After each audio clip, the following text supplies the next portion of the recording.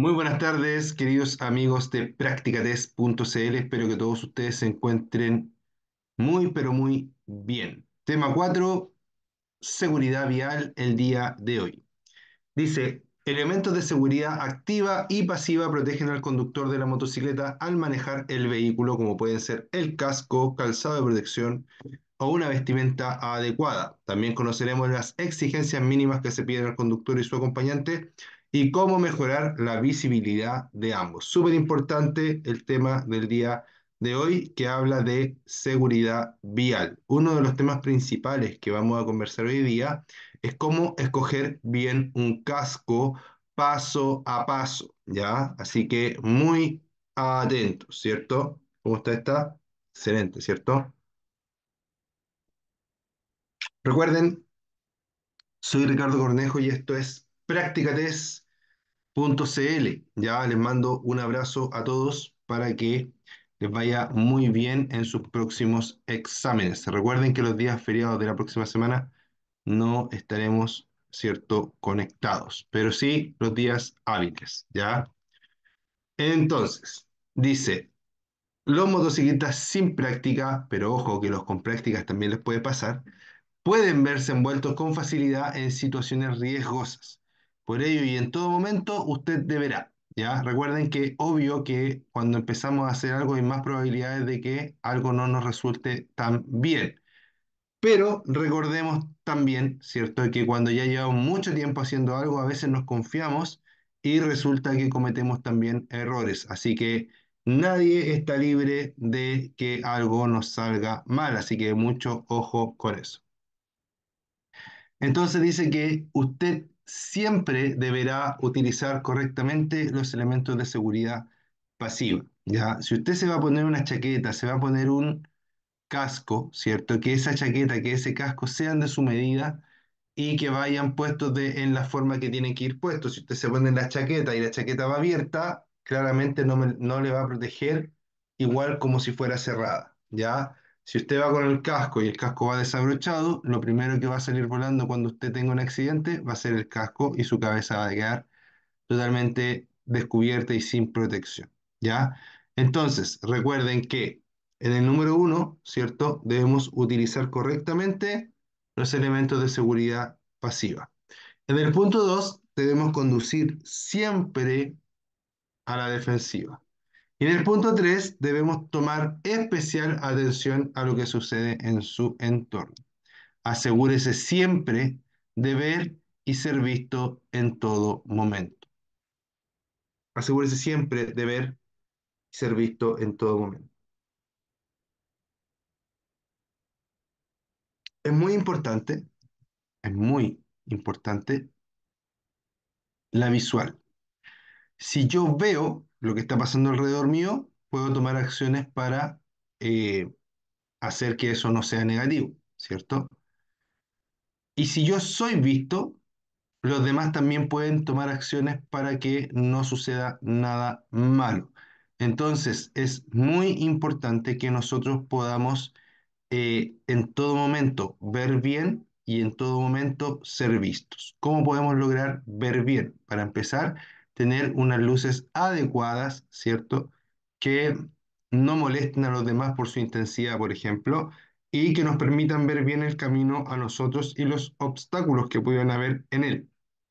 Además, cosa importante es que nuestras micas estén, de los cascos me refiero, estén en buenas condiciones, que no estén demasiado rayadas, que no estén sucias, ¿ya? ¿Por qué? Porque una mica que está sucia que está rayada va a hacer que disminuyamos lo que vemos hacia afuera. Es un riesgo muy subestimado, pero es increíblemente importante. El solo hecho, el solo hecho de que la, de que la mica esté sucia puede provocar un accidente. Ya no sé si a alguno le ha pasado cuando va en auto, que piensa que afuera hay neblina y prende la calefacción del auto y resulta que lo que uno pensaba que era neblina en realidad estaba por dentro de los vidrios, ¿ya? Y se ve, cuando secamos los vidrios, ¿cierto? Obviamente se ve mucho mejor hacia afuera. Es decir, que a veces eh, el vidrio está levemente empañado, en el auto me refiero, y uno piensa que es afuera, en el ambiente, el que está muy oscuro, ¿cierto? Que hay neblina. Pero en realidad solamente el vidrio el que está empañado. Y eso puede confundir a nuestro cerebro y obviamente puede ocultar algún tipo de riesgo. Así que, ojo, siempre, siempre, siempre ver bien, ¿cierto? Tomar las precauciones para poder ver bien, eh, conducir siempre a la defensiva.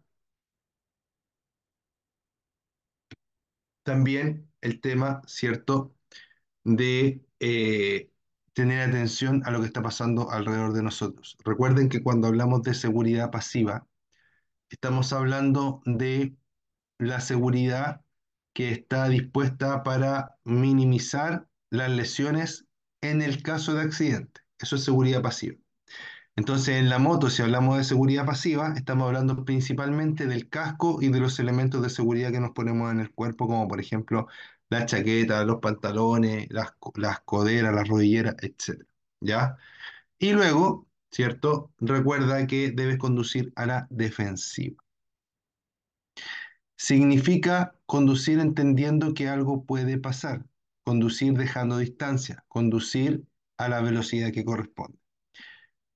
Si hablamos de seguridad activa, como para dejar al tiro listo ese concepto, ¿cierto? Estamos hablando de lo que está dispuesto en la motocicleta para evitar el accidente, que no es lo mismo que el caso anterior, ¿ya?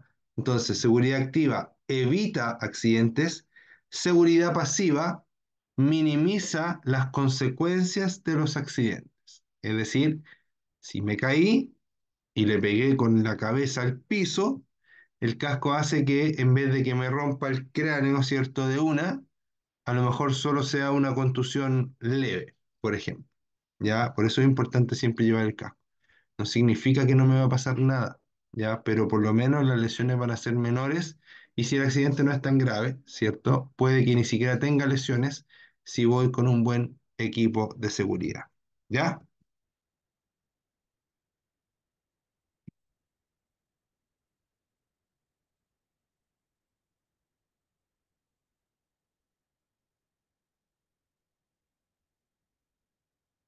Ahora vamos a hablar acerca de algo que por lo menos los motociclistas modernos nos encanta porque crecimos con ello. ¿Ya? ¿Por qué digo esto? Porque yo tengo un, amigo motociclista eh, muy, muy clásico, por decirlo así, ¿ya? Él tiene como 85 años y, y él me decía que él era motociclista desde cuando se andaba solamente con, con Ray-Ban, con lentes y con un pañuelo, ¿ya?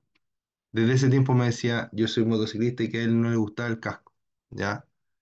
Bueno, en, en tiempos modernos, ¿cierto? El casco sabemos que es muy necesario. Ya recordemos que igual ahora las carreteras son más rápidas, las motos también, eh, hay muchas motos que son, digamos, en cantidad, hay muchas más motos rápidas ahora que antes.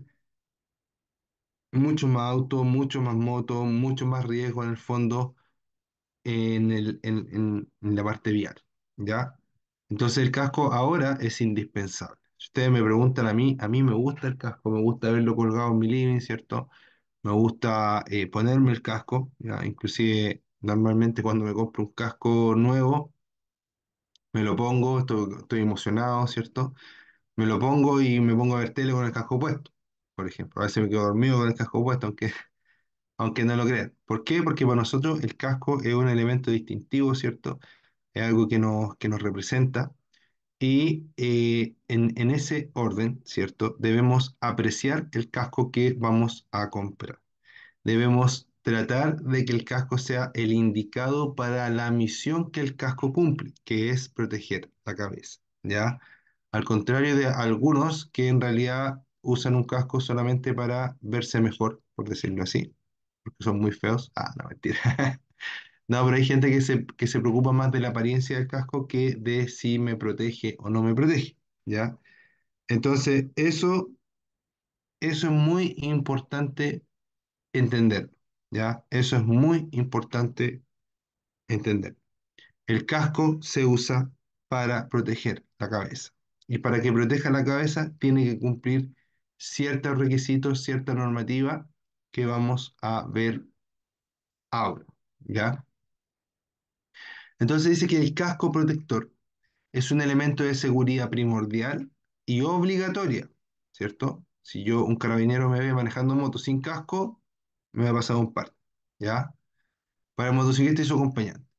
Este evita las lesiones que se pueden producir en el cráneo en el caso de siniestro, incluso a bajas velocidades, Es decir, el casco es relevante incluso cuando tú andas muy lento en la moto. Después dice que para garantizar la eficacia del casco, debe estar certificado. Para garantizar que este casco cumple lo que tiene que dar, este casco tiene que estar certificado. Después dice que los cascos deben llevar impresa en su interior de forma obligatoria la siguiente información relevante. Y antes de, seguir con eso, les voy a decir qué significa que un casco esté certificado. Significa que se sometió a algún tipo de prueba para comprobar que realmente sirve para lo que se ofrece, ¿ya? Para, para comprobar que ese casco realmente es un casco y no es un adorno, por ejemplo. ¿Ya? Después van a entender un poquito más por qué dije. Entonces, las certificaciones en los cascos en la actualidad, las principales son dos, ¿ya? Una es la, no sé si las principales, pero las que más se ven y las que más me muestran normalmente, ya las más comunes, digamos.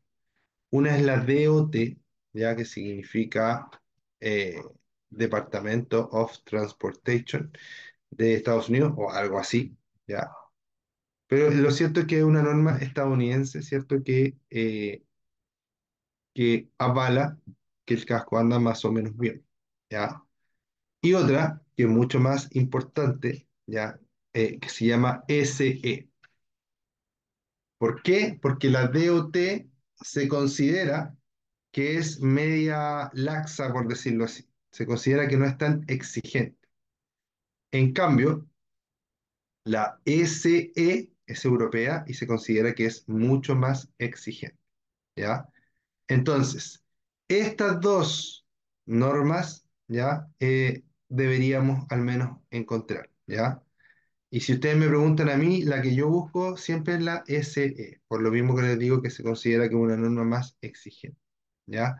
Hay otras también, quizá un poco menos comunes, pero que también existen. Una es la norma FIM, ¿cierto? Que es de la Federación Internacional de Motociclismo. Y la otra es la SNIL, ya que también es una norma gringa, ¿cierto? De, una fundación que se llama SNIL y que también, ¿cierto?, ofrecen este tipo de certificación, ¿ya? Desde mi punto de vista, la más importante en términos de eh, practicidad, por decirlo así, de disponibilidad, es la ECE. Normalmente un casco que esté certificado FIM es bastante caro, ¿ya? A eso me refiero con disponibilidad. Entonces, de los cascos normales que protegen bastante bien, los que tienen normativa SE para mí son los más recomendables, ¿ya? También existe una página en internet que se llama Sharp Helmet, S-H-A-R-P, Sharp Helmet, como casco en inglés, y eh, la pueden buscar por ahí. Y esa página también eh, pone a prueba los cascos y le da una calificación de estrella, al igual que las pruebas de choque de los vehículos, ¿ya? Algunos que les gusta la página, otros que dicen que no, es, no, es tan- no son tan buenas las pruebas que hacen, eh, etcétera, ¿ya? Pero ahí al menos hay información para que ustedes empiecen a buscar, ¿cierto?, cómo tomar la decisión. Entonces dice que los cascos deben llevar impresa en su interior, de forma obligatoria, la siguiente información relevante. La marca, el modelo y el origen. ¿Qué significa eso? Que debe decirme qué marca es, qué modelo es y qué origen, dónde fue fabricado. Además de eso, muy importante, es que los cascos tienen una duración aproximadamente de 5 años, ¿ya? Aproximadamente. No significa que a los 5 años el casco se va a autodestruir o, se va a desarmar entero, no. Pero sí, a se considera que a los 5 años el casco ya no protege como protegía al principio. Es por eso que es muy importante saber cuándo fue fabricado ese casco y no comprar un casco, ¿cierto? Que fue fabricado hace más de 2, 3, 4 años. Ideal comprar, por ejemplo, ahora en, este, en esta época del año, ya comprar un casco que haya sido fabricado, ojalá, este mismo año. A veces no es tan fácil, pero si no podemos conseguir eso, al menos uno del año pasado, pero no más, ¿ya? ¿Por qué? Porque me va a quedar muy poco tiempo para poder usarlo, ¿ya? Entonces, los cascos deben llevar impresa en su interior, ¿cierto? Esta eh, etiqueta. En esta etiqueta también va a decirme la talla, que es el casco, y las normas a las que se ajusta. Después tengo tipos de cascos. Dice, independiente que no es independiente que no es obligatorio el casco de tipo integral, su uso es recomendable ya que son los que brindan mayor seguridad y son los únicos que protegen la cara. ¿Ya? Súper importante. Si usted me pregunta a mí, el casco que sirve es el casco integral. ¿Existen otros tipos de casco? Sí, y se venden mucho, se usan mucho, como por ejemplo estos que están acá, ¿ya? El primero, el amarillo, es el casco integral, pero después tengo, ¿cierto?, el casco eh, modular o que nosotros conocemos acá en Chile como abatible, y después tengo el casco de motocross. ¿Por qué este protege más que esto? ¿Ya? Científicamente quizás no se lo puedo comprobar, pero desde mi punto de vista es importante que el casco, esta parte del casco y esta parte del casco estén construidos en una sola pieza, es decir, que no se puedan mover ni se puedan sacar ni desmontar. Además, es importante que el casco tenga este visor, ¿ya? Este visor va a permitir que yo pueda proteger la mayor parte de mi vista, ¿ya? En realidad toda mi vista, además de mi nariz. Si yo me voy a este casco que está acá, claramente deja desprotegida toda mi cara cuando el casco está abierto. Y adivinen qué, la mayoría de las personas que usa este casco, sobre todo en verano, lo usa abierto. Además, en este que está acá, si bien es cierto, de aquí hasta acá podríamos decir que es una pieza, pero deja todo esto descubierto. Y ahí muchos de ustedes me van a decir que este casco se utiliza con un antiparra, ¿ya? Ese antiparra me protege los ojos, entre comillas. Me protege los ojos a lo mejor de un piedrazo, pero no de un impacto más o menos grande, ¿ya? Y lo que sí o sí pasa es que me deja la nariz afuera, ¿ya? Se los digo porque yo tuve problemas andando con este casco, iba por la carretera, iba hacia San Antonio y se me metió un bicho, un bicho gigante en la nariz, ¿ya? Gracias a Dios eh, reaccioné bien, ¿ya? Fue como, como, un golpe así, después, después, de hecho, después me enteré que era un bicho y que lo tenía por acá arriba y todo eso, ¿ya? ¿Por qué? Por andar con este tipo de casco y con antipa.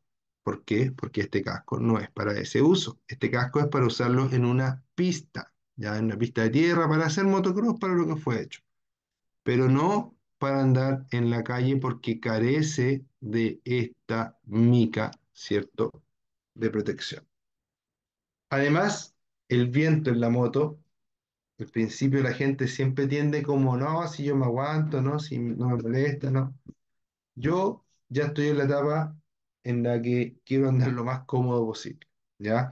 Y andar con un casco así, con mucho viento, para mí por lo menos no es cómodo, me desconcentra incluso un poco, etcétera, etcétera, ¿ya?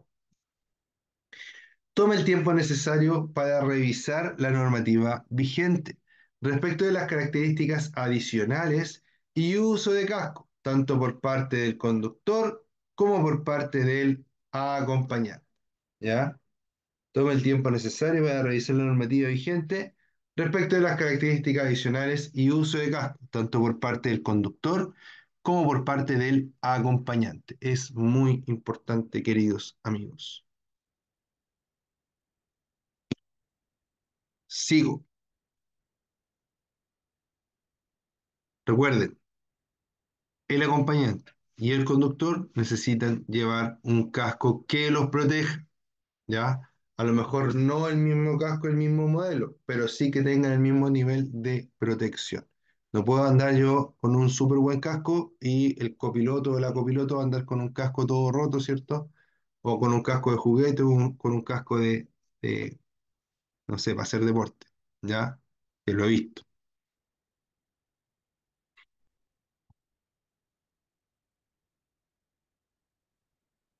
Por ejemplo, aquí hay una foto de un casco que no es que lo esté atacando, porque en verdad no, no conozco la marca, nunca he tenido uno en mi mano. Pero desde lo que yo puedo ver, tiene dos problemas importantes. ¿ya? Para empezar, aquí el rango de visión se ve bastante pequeño, ¿ya? Se achica con respecto a los visores grandes. Como que yo estoy viendo por dos hitos en vez de estar viendo cierto libre. Y además, es que si yo miro este casco por aquí, se ve que es un casco que es como, como que es una máscara que tiene encima en realidad, ¿ya? Que no es del casco, por decirlo así, ¿ya? Que no es parte de la, de la estructura principal, a eso me refiero. Entonces, si usted me pregunta a mí, a mí yo no usaría este casco, ¿ya? A lo mejor esto es de un material especial, no lo sé. Pero si me preguntan a mí, aquí el casco solamente va aquí, esto es como un casco antiguo, ¿ya? Y lo que tiene encima es una, un- como una máscara, por decirlo así. Ahora, lo encuentro bonito, totalmente, lo encuentro genial, ¿ya? Me lo compraría, pero, pero para disfrazarme de Iron Man, ¿ya? No para andar en moto. Así que ojo con eso, ojo con los cascos que vamos a comprar. Hay unos cascos también que andan por ahí de, de Depredador, por ejemplo, eh, que tienen muchas cosas colgando y todo eso. Cualquier cosa que usted le ponga al casco que se pueda enganchar es muy peligroso. Recuerde que en un accidente usted no tiene idea por dónde va a pasar su cabeza. Inclusive cuando va andando a lo mejor se puede enganchar en algo, ¿cierto? Estas personas que, sobre todo las niñas que le ponen trencitas a los cascos largas o que le ponen cachos, qué sé yo, oreja, todo eso aumenta el riesgo de lesiones graves en un casco, ¿ya? O al menos de lesión. Entonces, ojo con ello, ¿ya? Piénsenlo dos veces. El tema de los cascos no es algo que se pueda tomar a la ligera.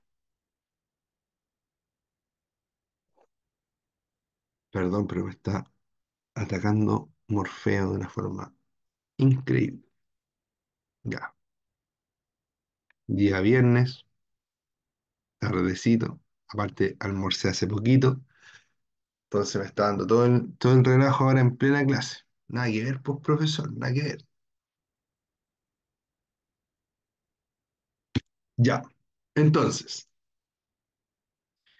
aquí en la parte azul, recuerda que el casco siempre debe ir bien ajustado y abrochado.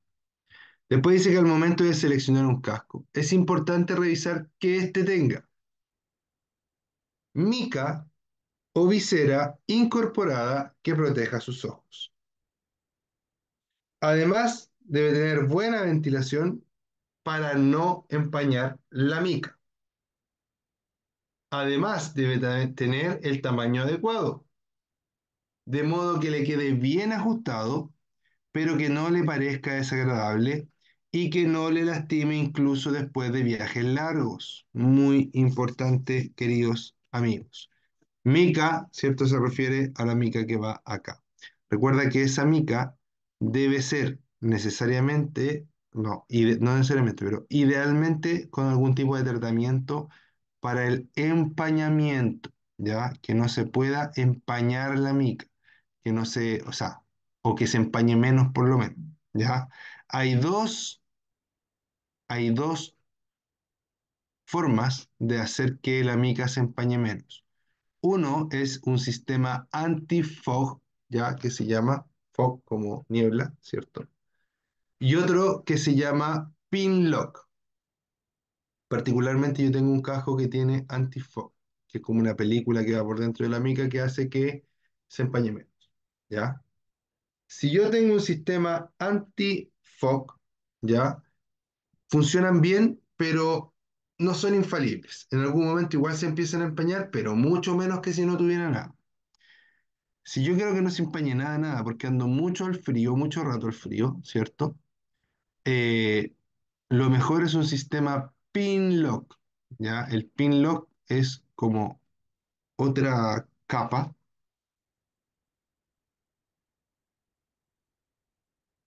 perdón, chiquillo. El pin lock es otra capa, ¿cierto? De, no, no, no digamos que es otra capa, digamos que es, que es otra mica que va por dentro, ¿cierto? Y queda pegada a la mica original por dentro o enganchada. Para ello, la mica original debe venir preparada para pin lock, ¿ya? Y con esto, la gracia es que usted va a, a, a usted no se le va a empañar nada, nada, nada, nada, nada, nada. El, el, ah, el visor, ¿ya? Una oportunidad, quería comprarle un regalo a mi hermano. Mi hermano también es, es motociclista. Y le quería comprar una antibarra, ¿ya? ¿Qué pasó? Que fui a, pre- a preguntar por una antibarra, una tienda bien conocida, amarilla, ¿ya? Decía el nombre, pero una tienda amarilla. Y ese, el, el, vendedor, ¿cierto? Me atendió bastante bien y me dice, eh, o sea, yo le digo, sé que ando buscando una, una antiparra, pero que no se empaña. Me dijo, tengo lo, lo que necesita, y me las pasa y me dice, si logra empañarlas, se las regalo. Entonces yo tomé la, la antiparra y le tiraba así, así el, el vapor de la boca, obviamente. Bueno, resultado, funcionaban tan bien, obviamente estaban nuevas, que traté de empañarlas como por 10 minutos y no pude empañar. Así que tuve que pagar. Pero fue una buena anécdota. ¿Qué quiero decir con esto? Que hay materiales y tecnologías que funcionan muy, muy bien, ¿ya? De repente hay que buscarlas solamente. Y estar dispuesto a, a invertir un poquito de lucas en eso, en esos conceptos, ¿ya? Pero es bueno poder hacerlo y es bueno, muy bueno, ¿cierto? Que eh, podamos, es muy bueno que nosotros podamos, eh, ¿cómo decirlo? Entender, ¿cierto? Que la tecnología hace que el motociclismo, el motociclismo sea menos peligroso, ¿ya? Ustedes me preguntan ahora, yo estoy en plan de comprarme un chaleco airbag, ¿ya? Esa, esa va a ser mi próxima compra grande. Todavía no puedo hacerlo, no me lo- todavía no me lo puedo permitir, como dicen, pero en algún momento voy a comprarme un chaleco airbag porque eh, reduce así, pero muchas veces, ¿cierto? El riesgo cuando andamos en la moto, cuando tenemos un accidente, ¿cierto? Y si bien es cierto, son caros, pero no tan caros, ¿ya? Valen como un PlayStation 5 más o menos, ¿ya?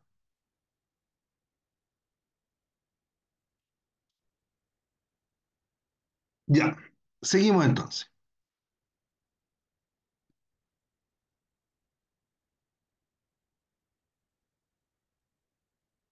Ya, mica visera incorporada, ¿cierto? Que el casco tenga buena ventilación, ya la ventilación del casco también va a hacer que el casco no se empañe tanto.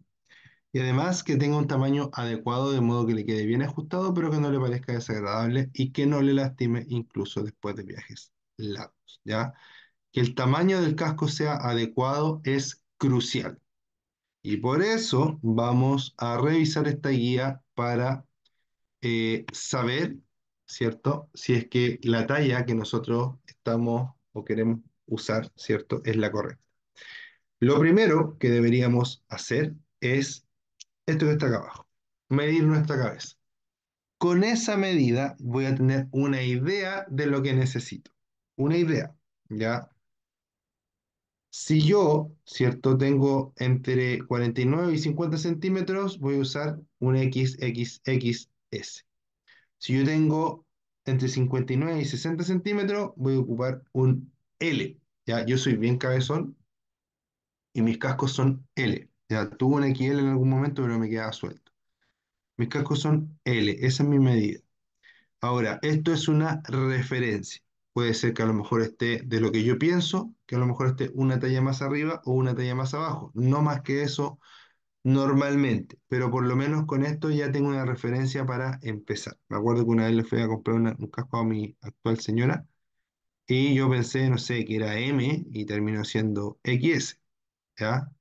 Entonces, ojo con eso, ¿ya? Eh, lo que creemos no siempre es lo que es, por eso acá hay una guía y les invito a tomar apuntes, ¿cierto?, acerca de cómo elegir. Primero, medimos la cabeza, vemos más o menos qué talla seríamos y con eso empezamos. Entonces, cuando nos pasen el casco que nos vamos a probar, debemos agarrar las cintas de la villa con cada mano y ponernos el casco. Debe parecer que no entrará o que lo hará muy justo. Es decir, nos gusta el casco, pedimos la medida, está la medida, nos lo pasan para que lo probemos y hacemos esto, tomamos el casco y lo metemos, ¿cierto?, en nuestra cabeza. Si llega y pasa así de una, significa que ese casco es muy grande para tu cabeza. Si el casco hace un poco de fuerza para entrar, significa que ahí vamos bien, ¿ya?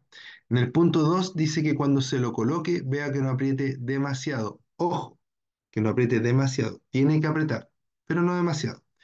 Si le provoca dolor en algún lugar, debe cambiar, debe cambiar a una talla más u otro modelo. Es favorable que la espuma frontal presione los pómulos, ya que el uso, sudor y presión del viento hacen que se deforme y pierda su consistencia. ¿Ya? Súper importante entonces es saber que, eh, que el casco debe apretarme, pero no debe dolerme. Son dos cosas distintas. Además, súper importante es que la espuma que va aquí adelante, que es más blandita que el resto del casco, debe apretarme. ¿Por qué? Porque al apretarme va a permitir que se empiece a ajustar a mi cabeza y que después cuando ya se acostumbre el casco a mi cabeza me quede perfecto. El casco es como los zapatos.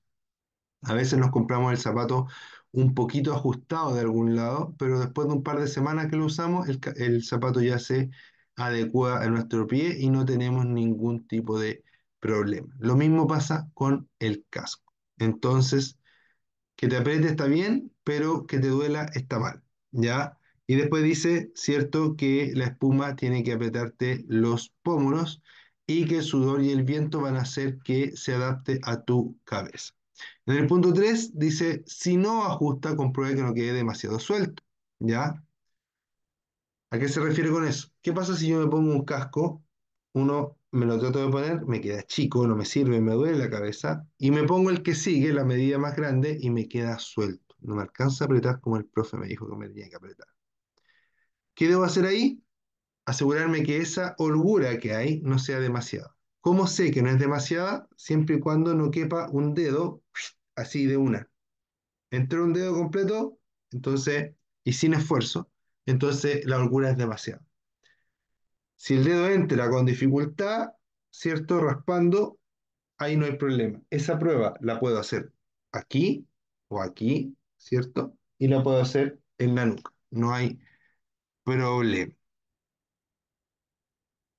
Recuerda que cuando usas lentes debes probarte el casco y ponerte los lentes y ver si el casco y los lentes eh, riman, ¿ya? Y si no, cambiar casco o también es una opción cambiar un lente que sea menos invasivo. Eso normalmente puede pasar con lentes que a lo mejor sean muy grandes, que tengan las patas muy gruesas, que tengan algún adorno acá en las patas, ¿cierto?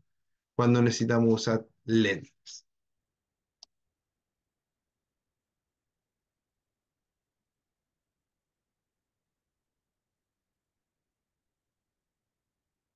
Cuatro, verifique que el casco esté bien unido a la cabeza. Con las manos mueve el casco de forma alternada, ¿cierto?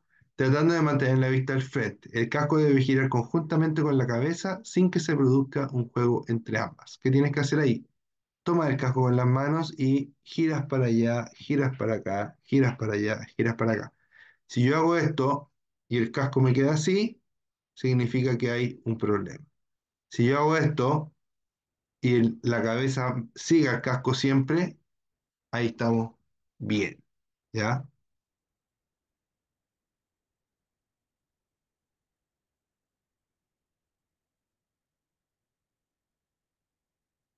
Entonces recuerda, ¿cierto?